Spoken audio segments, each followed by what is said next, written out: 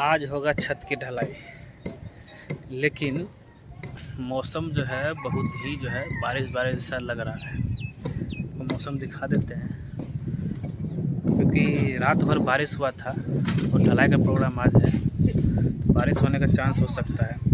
लेकिन तब भी जो है सात बजे के बाद जो मौसम थोड़ा साफ़ किया है, ऐसा थोड़ा बीच में धूप भी आया था और यहाँ पे जैसे पूरा सब कुछ मेरा यहाँ रेडी हो चुका है।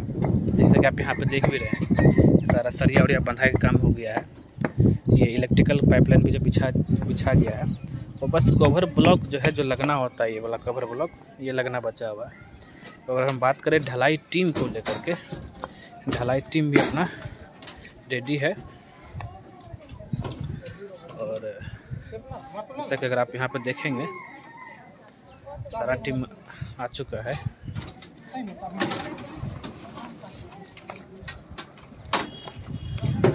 और ऑलमोस्ट सब कुछ रेडी और कुछ छोटा मोटा जो काम बचा हुआ है साइड बोर्ड मारने के लिए, वो साइड बोर्ड का काम जो भी चल रहा है। और और इसमें जो है एक जगह पे कुछ अभी फ़ैन हुक जो है, नहीं लगा है।